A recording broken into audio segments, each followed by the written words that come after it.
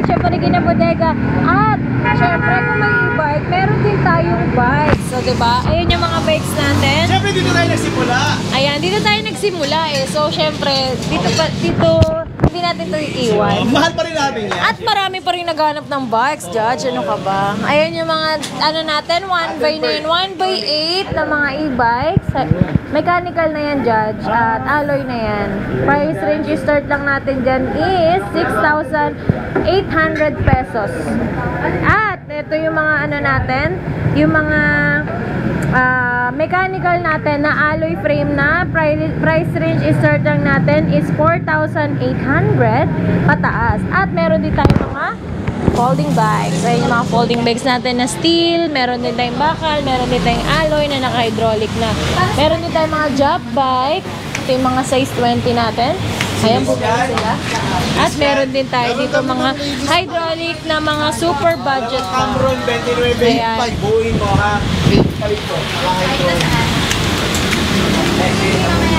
Yan. Yan.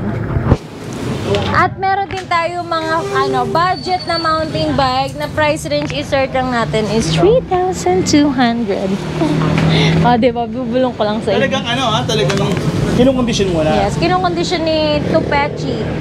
Ayan yung mga high-end natin na hydraulic brakes na mountain bikes. Ah, 1 by 9, 1 by 8, 1 by 12, 1 by 13 speed. Ayan, yung mga budget natin. Price range is start nga lang yun, di ba? 3,2. At meron din tayong mga road bike. Ayan, mga road bike natin. May mga gravel bike tayo. Non-STI and STI. Ito At- naman for delivery. For delivery, kaya nandito na. Actually, hindi na kami nag, ano dito, ah, nagdi-display. Eh, kanina nag-release ng 50 pieces. Nabawasan kahit papano. At ito naman ang ating mga kids bike. Kita-kita nyo naman guys, naubos ang display natin. naubos ang display.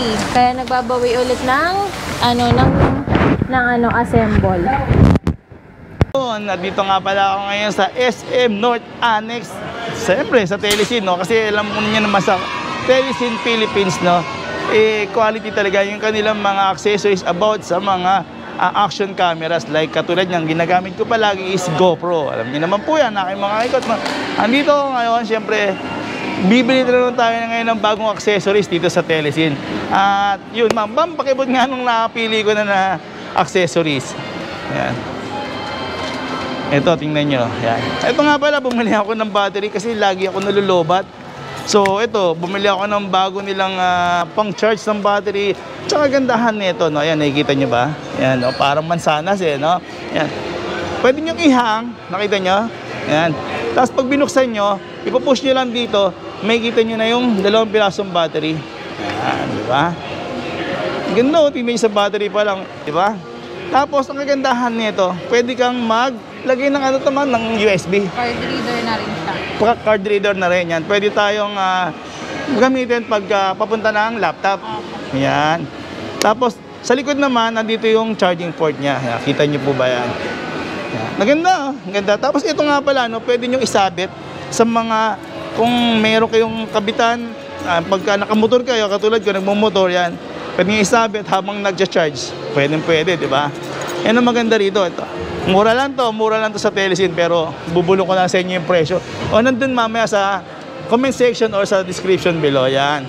Tapos, yan. Ito nga pala, no, may kasama na rin pala itong pang-charge. Ito yung pang-charge niya. Yan. Kasama na to lahat. Tapos, ito naman yung, ayan o, ang tawag dito, a desktop tripod. Ito maganda rin to kasi itong tripod nga ay ah, paano ba to ma'am? Yan, ah, tataas. Tapos yan. Yan, oh, hanggang mataas siya, hanggang patataasin nyo yan, pwede. At pwede nyo rin pababain. At saka kagandahan nito, sa tripod na to, multi-function yan, hindi lang sa GoPro. Pwede rin siya sa DSLR, yun sa may camera nyo. Sa mirrorless, nasa inyo po yan. Tapos, ang sumunod is pang, ano, pang sa cellphone naman. Yan, pang sa cellphone. Pwedeng pwede ito lahat yan, pwedeng pwedeng gamitin. Yan. Yun. Ito nga pala, no, pagka sa GoPro naman, kailangan ng adapter. Ito may adapter dito, yan. Yan. Kita nyo ha. Dito lang to, ayan. Ito na, pinakyaw ko na kasi ito talaga kailangan, kailangan natin to eh. Habang nagbablog tayo.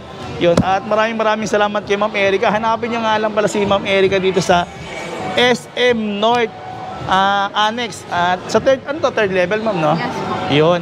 At puntahan niyo lang siya rito.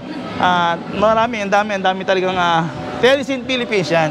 Yun. Hanggang sa muli, Ma'am, maraming maraming salamat. ah. discount, Ma'am, ha? Ayan. Yun. At yun. At maraming maraming salamat. God bless. Another outdoor and cycling attire for MTB, the Trailman. Suwabe ang looks at matibay ang fabrics. Trailman has various design, fitted for biking and other fitness affair. Kaya sa rides mo, e-Trailman mo. Designed and engineered by Manang Loaming Store, MLS. Trailman.